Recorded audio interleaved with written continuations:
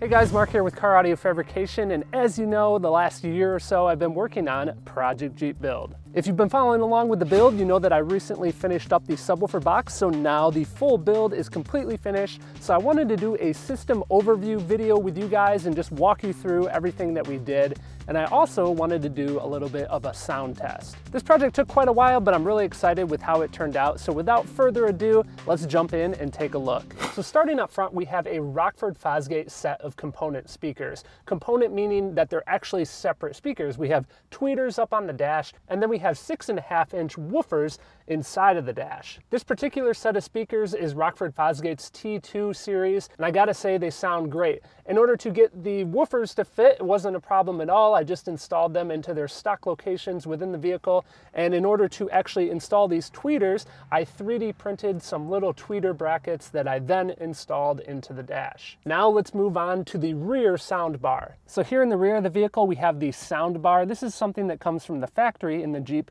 and within the soundbar, I've installed two Rockford Fosgate T1 6-inch coaxial speakers. In order to install them, I had to make a custom speaker adapter bracket, which I did in one of the videos and showed how to do. I used ABS to actually make it. And while I was at it, I also soundproofed and did some sound treatment on the soundbar in order to prevent any rattles and in order to improve the bass performance. Taking the time to do those extra steps made it so that with these upgraded powerful speakers, I don't have to worry about any rattles.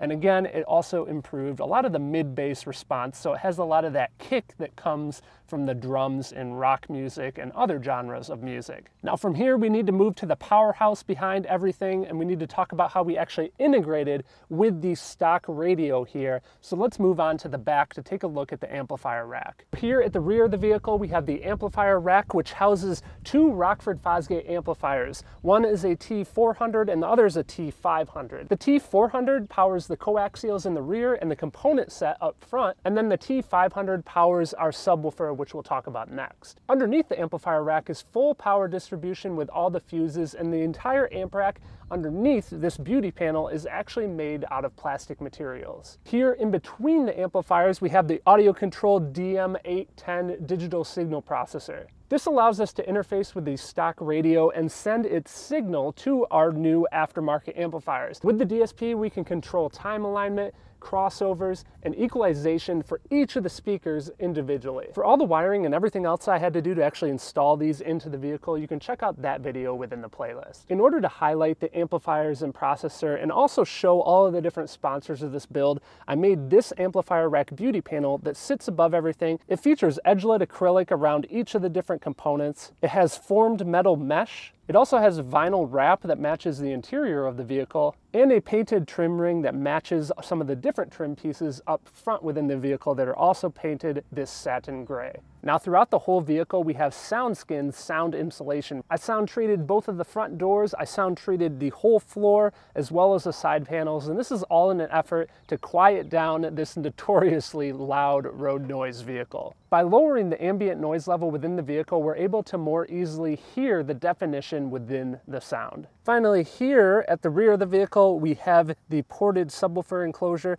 This subwoofer box, you can see that it's actually shaped to the contour of the floor, and it has quite a unique shape, and I did this by stacking layers of material together in order to form it. Again, the subwoofer enclosure is ported, and you can see on the front face, it's wrapped with the same vinyl as the back amplifier rack, and it also features some of that same white coloring in order to match the amplifier rack. So I know you guys have been wondering, how does it sound?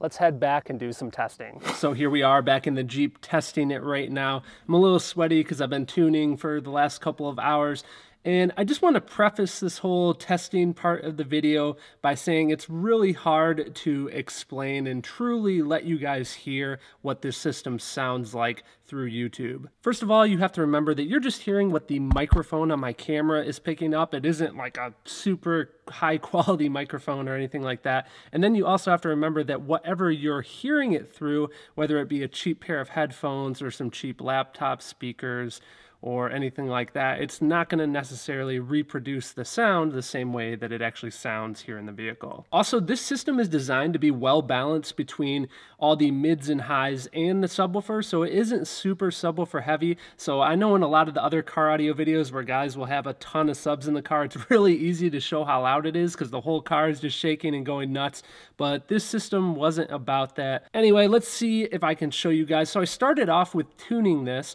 and I actually took a reading on the RTA, and I was able to get this curve here. You'll notice that the curve isn't completely flat. You can see that it's actually boosted a little bit in the bass region, and then everything above 3000 or so hertz I roll off. I did this intentionally because I do like a little bit more bass emphasis in the music when I'm listening to the sound most people do, and I didn't really want these highs on these tweeters to be piercing. So because of their install location, they're kind of sharp, but I was able to deal with that in tuning by, like I said, rolling that upper end response off. The other hard part about this is I can't play songs that you guys really know or recognize because all of those songs are always under copyright. So I need to play copyright free songs. So I've got a series of different songs here that we can listen to from different genres. Let's start with classical.